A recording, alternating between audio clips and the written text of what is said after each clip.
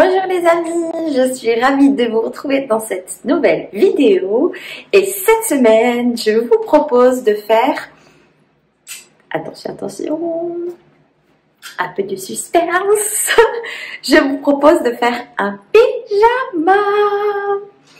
Comme euh, l'été va arriver, commence à faire un peu meilleur et tout, on va laisser nos petits pyjamas pilou pilou de côté. Du coup, euh, je vous propose de faire un pyjama. Donc à mon avis, cette vidéo sera en deux parties. Donc aujourd'hui, nous allons faire le bas. Et dans la prochaine vidéo, on fera le haut. Et je vous propose aussi donc de faire euh, ce pyjama sans patron. Donc à partir d'un pyjama vous. du coup, je vous laisse avec le tuto. On y va, c'est parti. Pour euh, donc cette vidéo, il vous faut tout simplement un pyjama. oui, je sais, c'est le même pyjama vous avez vu la semaine dernière, mais franchement, il est hyper bien, hyper confortable. Je l'adore. Du coup, euh, je vais reproduire le même. Donc, il vous faut un pyjama tout simple. Soit vous faites euh, un short, soit vous, vous laissez euh, long. Ça, c'est vous qui voyez.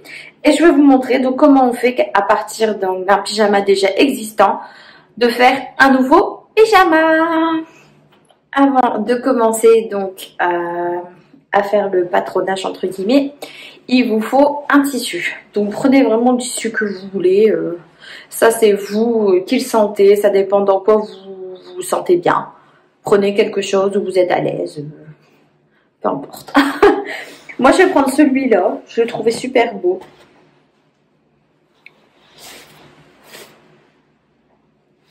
Trouve que ça va être super sympa. Et moi, je vais essayer de le mettre comme ceci, comme ça. Je vais essayer que ça, ça soit en bas comme euh, en bas de mon pyjama pour faire comme un, petit tourlet en fait. Donc on verra bien ce que ça donne. Bon après le tissu est un peu transparent. Mais moi ça me dérange pas vu que c'est qu'un pyjama. On, le met le soir pour faire dodo, hein, n'est-ce pas? Donc moi ça me dérange pas qu'il soit un petit peu, enfin légèrement transparent. Donc je pense que ça doit être du coton. Donc prenez vraiment quelque chose où vous vous sentez à l'aise. Un coton, euh, du jersey, enfin peut-être pas du jersey mais plus un coton ou alors de la flanelle. Euh. Première étape à faire, c'est de venir prendre donc son bas de pyjama, de le retourner. Et on va venir donc mettre une jambe dans l'autre jambe.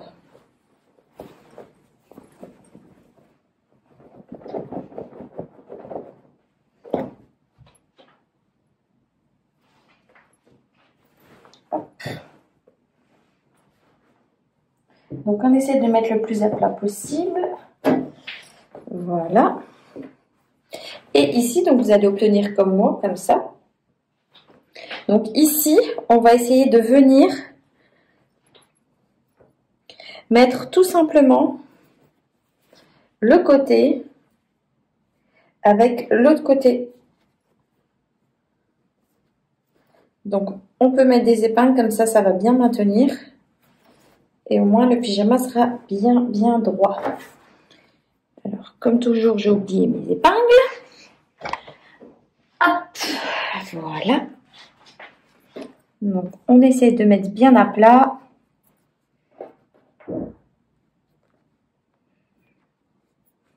Voilà. Et de l'autre côté aussi. Comme ça, au moins, ça ne bougera plus quand on va travailler. Voilà. En fait, on fait ça parce que dans un pantalon, un short, un pantalon, vous avez toujours un devant et un dos, forcément. Mais le devant, je vois souvent des, personnes qui prennent ça, hop, hop, qui font ça quatre fois. Alors que c'est pas, c'est pas comme ça que ça marche en fait. Parce que dans le devant, vous avez une fourche. Donc vous avez la fourche ou l'entrejambe comme vous voulez, qui est ici. Donc ça c'est le devant.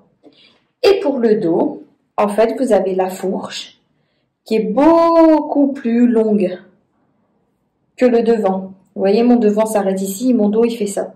Tchac, tchac. En fait, c'est normal. C'est parce que le devant doit toujours être plus court que le dos. Parce que le dos, comme il y a les fesses, la courbe, l'entrejambe est beaucoup plus profonde. Donc, vous devez faire attention à ça. il y a un devant, il y a un dos. Donc nous, on va s'occuper de la fourche du devant, donc la plus petite. Et on va venir donc tout simplement, je vais essayer de me décaler.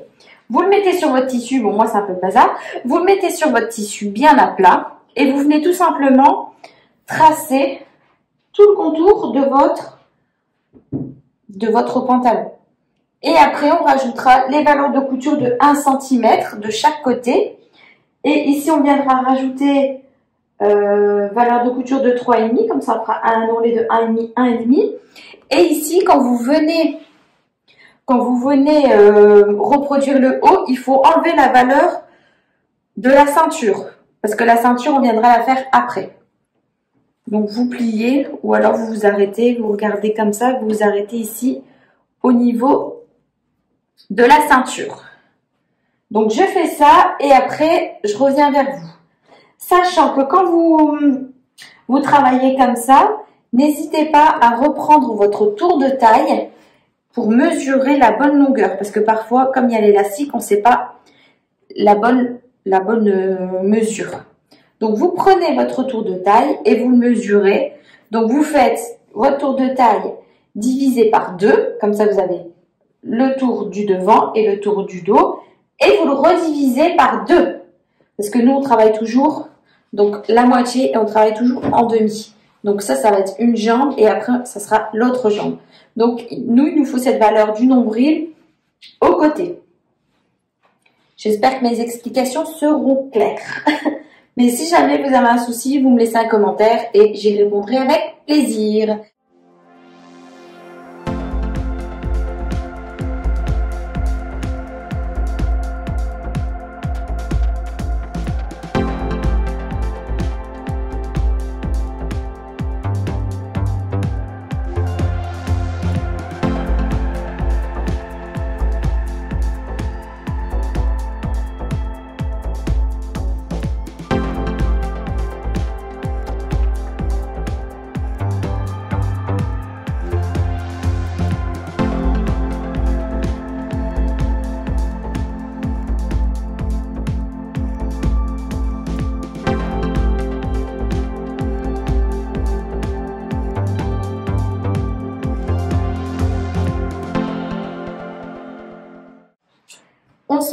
Après avoir coupé donc le dos et les devants.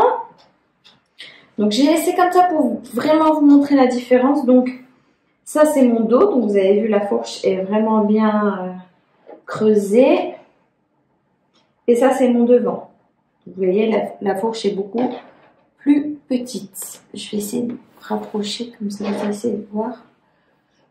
Donc ça c'est mon dos. Et ça c'est mon devant. Donc, pour découper, aidez-vous du devant. Comme ça, vous avez euh, la bonne euh, longueur de jambe, et même sur le côté et même au niveau de la ceinture. Comme ça, tout ça, vous avez la bonne longueur, vous avez, la même chose. Et par contre, faites attention à votre fourche de dos. Hein. Je préfère le répéter plusieurs fois, mais il faut vraiment euh, faire attention parce que sinon, quand vous allez faire votre pantalon, vous allez vous rendre compte que ça va pas du tout y aller à l'entrejambe. Donc, vous devez obtenir comme moi donc deux dos, deux devant. J'enlève toutes les épingles. Moi, j'ai vérifié avec mon tour de taille, comme je vous ai expliqué, comme ça c'était bon. J'ai rajouté toutes les valeurs de couture, comme ça on est OK. Voilà. Il y en a encore une ici. Je vais essayer de vous montrer. Donc ça, c'est la fourche du dos.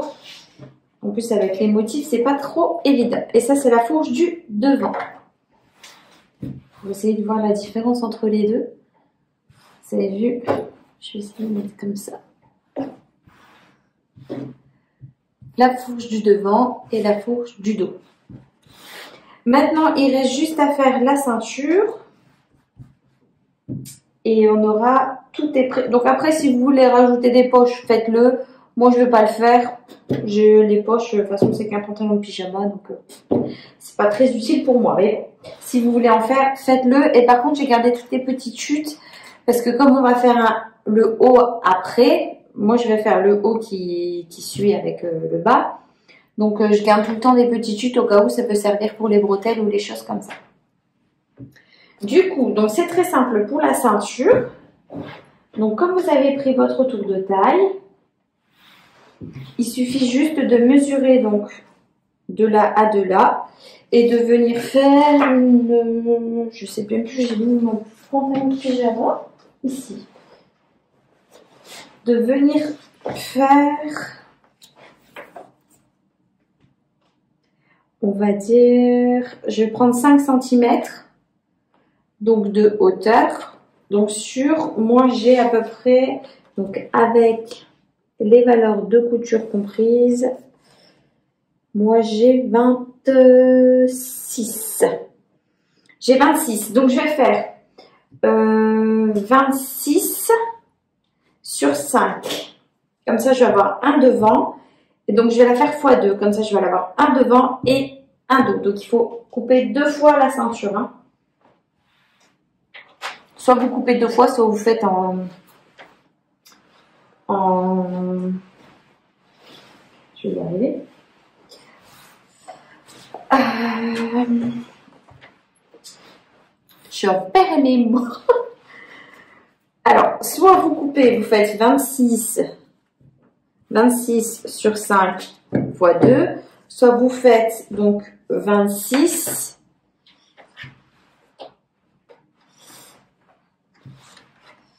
Fait, ça va faire plus long, comme ça vous n'avez pas de couture sur les côtés en fait. Donc ça fait 26 fois 2. Excusez-moi, je suis très très nulle en maths. Donc ça vous fait 52. Donc soit vous faites 52 sur 5, comme ça vous avez directement le dos et le devant, soit vous le faites, moi j'ai 26, hein. donc vous faites 2 fois 26, et là vous, avez, vous allez avoir des coutures à faire sur les côtés. Ça, c'est comme vous, préférez. Moi, je pense que je vais faire euh, tout d'un coup, tant qu'on y est. Hein. Et je pense que je vais reprendre ce motif. Ah, mais je vais essayer de regarder dans mes petites chutes. Vous voyez, ça sert toujours les petites chutes. Donc, je coupe, je coupe, je coupe ma ceinture et on se retrouve juste après euh, en essayant de plus bugger. Du coup, voilà, moi je l'ai fait en une seule bande. Donc j'ai calculé mon tour de taille, comme je vous ai dit, et j'ai fait une grande bande, comme ça je n'aurai qu'une couture à faire. Par contre, je vous ai dit sur 5, moi je vais la plier en deux. Donc en fait c'est bien sur 5, mais il faut faire x 2. donc, donc j'ai rajouté, donc j'ai fait 11 cm. Comme ça quand on va la plier, ça sera sur 5 plus 1 cm de valeur de couture. Voilà, petite précision que je voulais vous dire. Du coup, maintenant, je vais pouvoir ranger tout mon tissu et préparer ma machine à coudre. Et vous verrez, franchement, c'est très très simple de coudre un pantalon. Euh, vous allez voir, après, vous allez en faire plein. De toute façon, c'est la même technique que ce soit un pantalon pyjama ou un pantalon que vous voulez faire euh, pour tous les jours, même un un short, c'est exactement la même technique. Donc après, euh, vous verrez, c'est super simple. Une fois qu'on a compris le système, euh, vous allez euh, vous lancer et faire plein de shorts, plein de pantalons. Que ce soit pour les hommes, pour les femmes ou pour les enfants. Voilà, Donc, je disais, nous allons commencer par coudre un dos enfin oui, un pantalon dos sur un pantalon devant. Moi, c'est simple. Ah, est-ce qu'il y a encore? Moi, c'est simple à reconnaître hein, l'endroit de l'envers, mais vous faites une petite marque sur l'endroit si vous avez peur euh, d'oublier l'endroit l'envers. Donc, on va mettre les deux dos comme ceci. Donc, on en met un de côté, on va prendre un dos et on va venir prendre un devant. J'enlève mes petites épingles que j'avais pas enlevées. Et on va aussi donc faire prendre un devant et on met un autre devant, il y en a encore. Donc je mets un devant de côté et je prends donc mon dos, le tissu à l'endroit, hein. l'envers est sur ma table. Donc le tissu à l'endroit et je prends mon devant que je pose endroit contre endroit. Vous voyez peut-être pas avec euh, l'endroit est là et je mets l'endroit du pantalon dos sur mon endroit du pantalon devant. Et je vais venir coudre de chaque côté pour venir faire un tube. Donc je couds ici, donc je mets la fourche avec la fourche et je couds jusque là. Donc tout le long comme ça. Et après je viens coudre de là jusqu'en bas. Donc de chaque côté. Et on peut faire ça des deux côtés. Donc un dos, un devant, un dos et un devant. Voilà.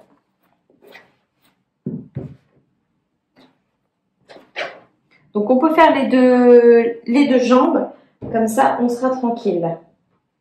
Donc je fais ça, donc vous, surtout, point d'arrêt début, 1 cm, point d'arrêt de fin de chaque côté, et après on vient tout surjeter. Si vous n'avez pas surjeteuse, vous savez, point zigzag. Comme ça notre travail est toujours bien propre.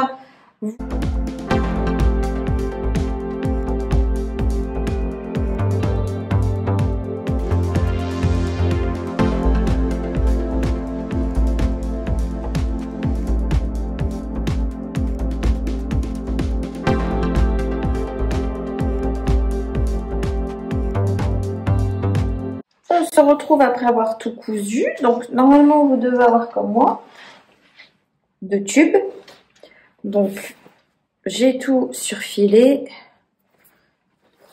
Hop, j'ai fait toutes mes coutures et j'ai tout surfilé. Comme ça, ça fait bien propre de chaque côté. Donc, normalement, vous êtes comme moi.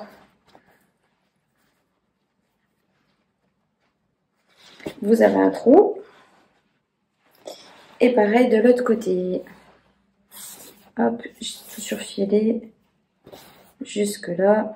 Et pareil jusque... On va y arriver. Jusque là. Voilà, donc pareil, on a un tube. Alors maintenant, la chose qui va être la plus compliquée en fait du pantalon, ça va, de, ça va 1, 2, 3, ça va être de venir mettre une jambe dans l'autre jambe. Je vous explique. Donc, on laisse une jambe comme ça sur l'envers, donc avec les coutures sur l'envers, et on va venir retourner une jambe. Ah, peut-être qu'avant de faire ça, on peut, on peut venir euh, donner un petit coup de fer à repasser, ça sera plus propre. Ouais. Avant de, de coudre ici, en fait, ce qu'on va faire, c'est coudre la fourche maintenant. C'est ce qui est le plus compliqué. Mais avant de faire ça, je pense qu'on va venir repasser un petit coup. Moi, ça sera bien propre. Donc, du coup, on peut venir les mettre les deux sur l'endroit et venir donner un petit coup de fer à repasser. On se retrouve après avoir tout euh, passé, au fer passé. Donc, moi, j'ai bien pris le temps de le faire. Comme ça, au moins, c'est nickel. Mes coutures sont bien mises. Vous voyez, le résultat est impeccable. Même de chaque côté. C'est beaucoup plus propre. Même ici, vous voyez. C'est beaucoup plus propre. Voilà. Alors, comme je disais tout à l'heure, on va venir donc faire la fourche. Donc, soit la fourche, soit l'entrejambe, comme vous voulez. C'est ce qui va être le plus compliqué, mais en fait, il faut juste comprendre le truc et vous allez voir, c'est super simple à mettre. Donc, on retourne.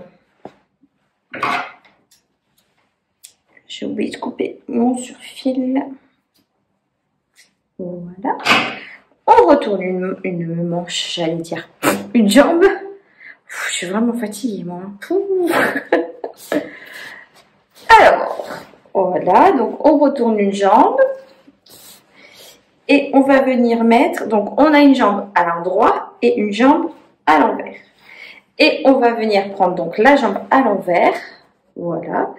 Et on vient rentrer la jambe à l'endroit dans la jambe à l'envers. Tout simplement. Donc pour vous repérer, vous pouvez prendre le côté avec le côté de la jambe.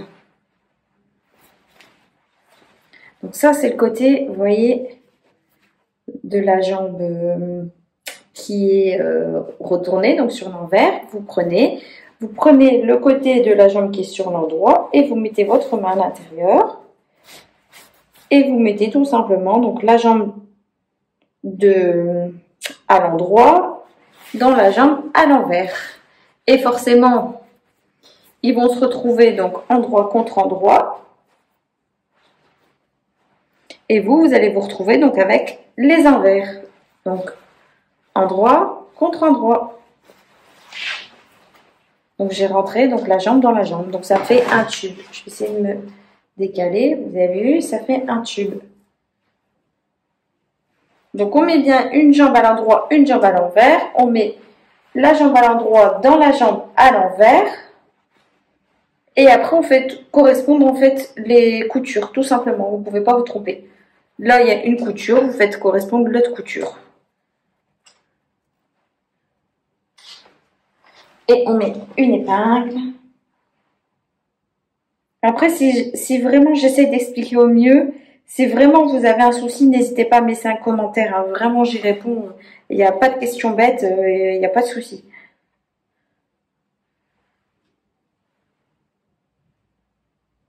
Donc ici, je fais correspondre ma couture de ceinture, donc le haut, voilà, avec ma couture de la fourche en bas. Voilà. Donc mes deux coutures, une et une derrière. Et l'autre en haut, c'est pareil. Une ici et une derrière. Et on va venir tout simplement, de toute façon, ça se met tout seul quand vous mettez couture sur couture, ça se met tout seul. On va venir tout simplement ici coudre la fourche de devant avec la fourche du dos. Vous avez vu, ça s'est mis tout seul. Dos, dos, devant, devant. Vous ne pouvez pas vous tromper. Si vous avez cousu un dos, un devant, un dos, un devant, et qu'après vous mettez votre, euh, jambe à l'intérieur, vous allez vous retrouver donc avec vos deux fourches devant et vos deux fourches dos. Parce que si vous commencez par coudre par exemple les deux jambes, les deux devant et les deux dos, et eh bien au montage, quand vous allez faire cette étape-là, vous allez voir qu'il y aura un problème. Donc, euh, il suffit juste de découdre. Il faut vraiment mettre une jambe devant sur une jambe dos, l'autre jambe devant, l'autre jambe dos. Vous cousez et vous allez avoir ce résultat. Vous ne pouvez pas vous planter. Dans tous les cas, c'est... Enfin, vous ne pouvez pas vous planter. c'est tout ce que je peux vous dire. Et maintenant, donc, on va venir tout simplement coudre un centimètre et on coud tout le long jusque de l'autre côté à un centimètre. Et après, ben, on aura nos deux jambes du pantalon. Et il nous restera juste à mettre la ceinture. Vous avez vu, c'est très très simple à faire.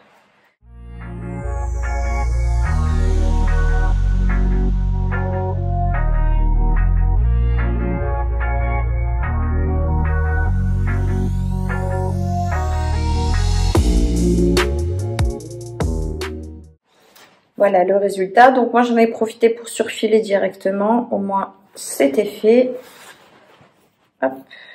Et maintenant, bah, on a juste à venir tout simplement enlever la jambe et le retourner.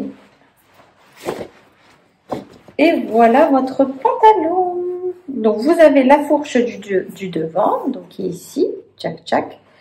Et on voit la fourche d'eau ici. Tac, tac. Et la fourche du devant. Voilà, donc maintenant vous savez le devant du dos. À cette étape-là, vous pouvez l'essayer, comme ça vous pouvez voir si euh, niveau de la taille ça va. Et niveau des jambes, si c'est trop large, vous pouvez reprendre. Niveau ici, des jambes, si c'est trop large, vous pouvez reprendre. Et si ça vous convient. Donc moi, ce que je vais faire, je vais l'essayer. Et après, ben, on viendra coudre euh, la ceinture. Par contre, j'ai oublié de vous dire, il faut un élastique, forcément. Donc, euh, n'oubliez pas de prendre un élastique et on s'attaque à la fermeture, j'allais dire. J'ai que des conneries dans cette vidéo. J'espère que vous allez comprendre. Ah, moi, j'ai essayé mon petit pantalon de pyjama. Il me va nickel. Bon, après, moi, j'ai un souci, c'est que je suis fort bombée. Je suis fort creusée au niveau du dos et fort bombée au niveau des fesses. Du coup, sur le devant, c'est un peu galère parce que du coup, il remonte trop. Derrière, ça va nickel, mais il remonte trop. Du coup, j'ai dû couper. J'ai dû couper pour que ça descende un peu plus bas. Je vais vous montrer un peu ce que j'ai fait. Vous avez vu? J'ai dû couper le devant pour que ça descende un peu plus bas et que le haut, il est nickel. Bon, moi, j'ai toujours ce problème-là. Du coup, ça m'arrive tout le temps. Mais vous, si c'est bon, euh, faites pas comme moi. Hein. du coup, on va venir euh, prendre la ceinture et faire ici une couture à 1 cm. Entre temps, j'ai été chercher mon élastique. Donc, il faut une élastique à peu près comme ça. Hein, c'est largement suffisant. Vous prenez donc la, le tour de taille. Hein.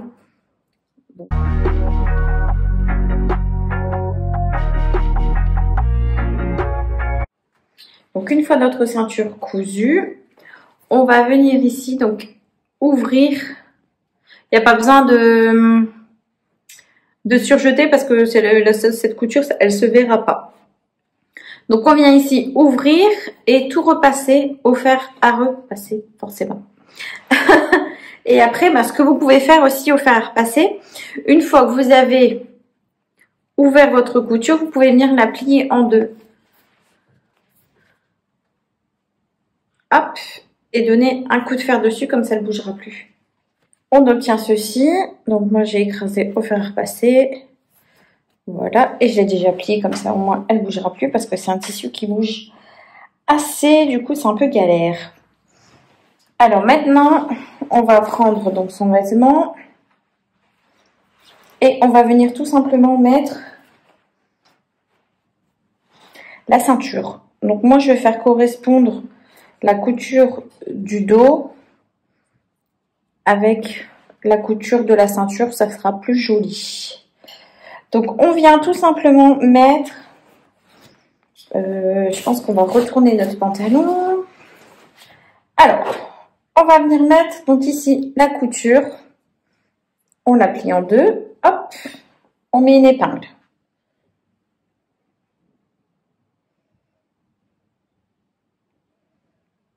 Voilà. Ensuite, on replie en deux. Donc, on met la couture sur l'épingle qu'on vient de mettre. Comme ceci. Et on prend d'un côté, on vient prendre le milieu. Et on fait pareil de l'autre côté. Donc les personnes qui n'ont pas fait, euh, enfin qui ont fait ça en une fois comme moi, vous devez faire ça. Sinon les autres personnes qui ont fait deux, un devant et un dos avec les coutures de chaque côté, vous n'avez pas besoin de faire ça parce que comme vous avez les coutures, vous avez juste à mettre couture, couture sur couture, couture côté. Enfin, couture côté, couture côté avec les deux coutures de chaque côté. Comme nous on n'en a pas, c'est pour bien mettre la ceinture. Maintenant, donc, je vais essayer de baisser. Voilà, comme ça, vous allez mieux voir. Je prends mon pantalon. Je viens mettre, donc ici,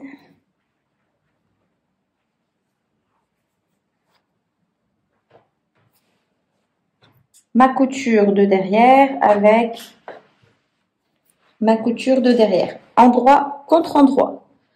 Et on vient les mettre comme ça. On essaye de bien les mettre pour que ça soit bien raccord.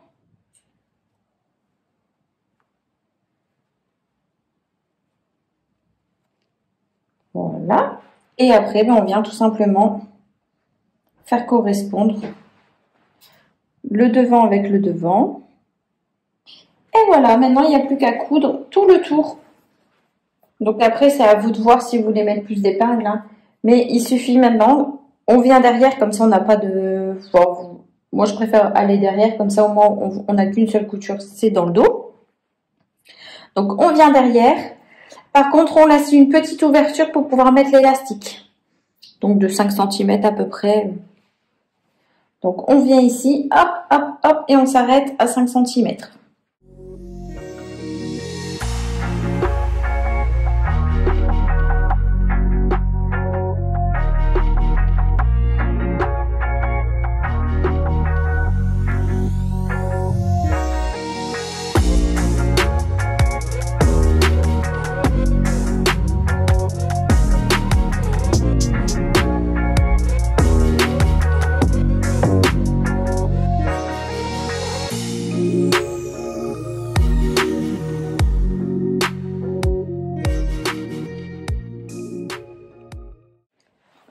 Fois fait, voilà ce que ça donne.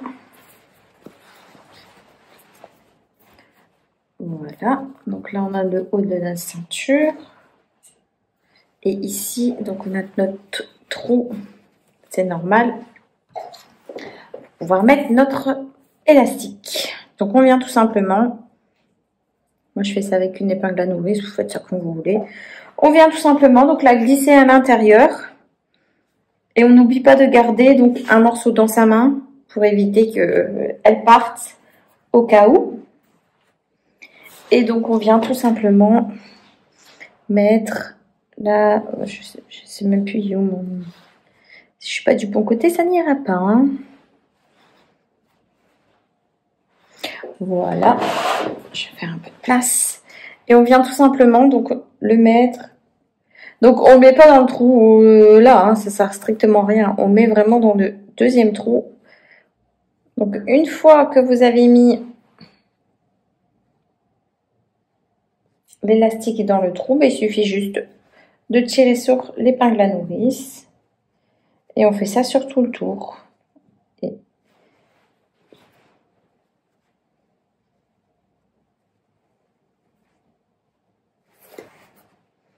Et l'élastique rentre tout seul dans tous les cas. Essayez de bien garder votre travail à plat et même l'élastique, évitez euh, qu'elle tourne, donc faites bien attention, mettez-la bien à plat. Et on fait tout le tour. Une fois que vous en êtes là, on enlève l'épingle de nourrice.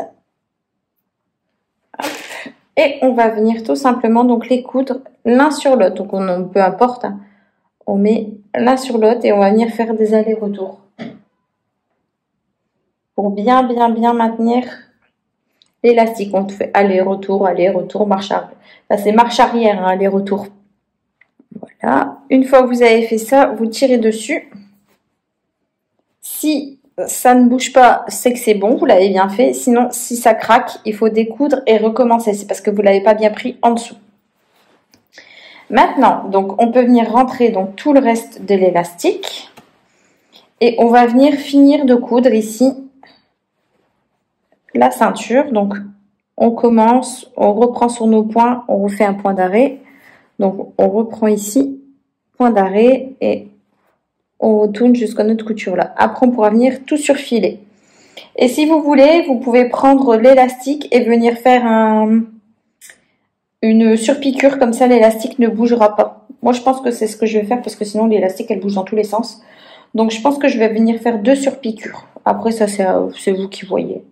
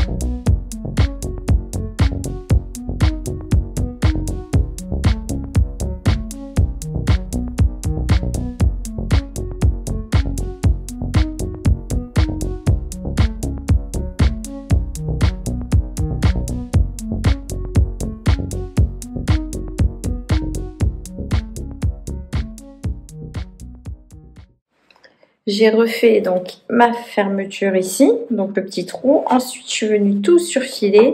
J'ai mis la couture vers le bas et j'ai fait une surpiqûre. Vous voyez, tout le tour, j'ai fait une surpiqûre. Comme ça, la couture, elle reste couchée en bas. Et ensuite, je suis venue donc faire deux petites surpiqûres, comme vous pouvez le voir, en haut pour l'élastique. Je trouve ça plus sympa, au moins il bouge plus et je suis tranquille. Maintenant, il nous reste une seule étape à faire. C'est l'ourlet et notre pantalon pyjama sera terminé. Donc l'ourlet, ça dépend combien vous avez laissé. Donc normalement, c'est 1,5, 1,5. Donc on replie 1,5 sur 1,5. Donc hop. Et hop et on vient piquer le plus près du bord à 1 mm. Normalement c'est 1 mm, mais bon, vous piquez le plus près possible.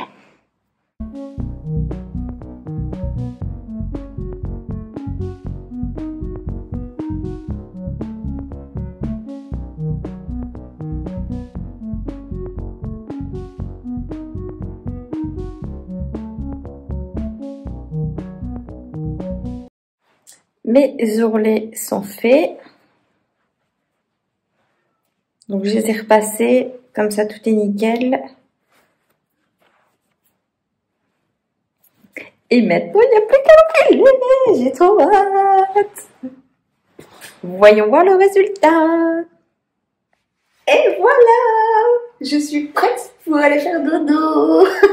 bon, bien sûr, ça suit absolument pas. Hein. J'ai le, là, j'ai le style. Hein. Mais bon, c'était pour vous montrer mon beau pyjama. Je suis trop trop contente, il est trop beau. Donc avec mon petit élastique à la taille. Bon, on verra peut-être un petit peu à travers, je suis désolée. Euh, et en plus, il taille nickel. Franchement. Ah, je suis trop contente, je vais être trop bien dedans. Il manque plus qu'à faire le petit haut, donc ça, ça sera pour la prochaine vidéo. Mais même à la taille et tout, il va nickel. Comme quoi, vous avez vu, on peut reproduire ces vêtements hyper facilement.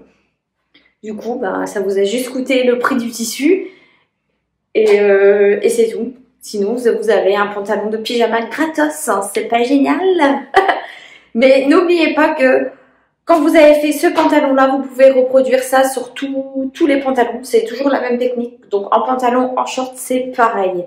Donc maintenant, il vous suffit juste d'avoir un peu de patience et de créer vous-même vos pantalons. C'est pas génial? En tout cas, j'espère que vous avez passé un bon moment en ma compagnie. Je vous fais des gros gros gros bisous. Et je vous dis à bientôt dans une prochaine vidéo qui sera le haut du pyjama. Bye bye les amis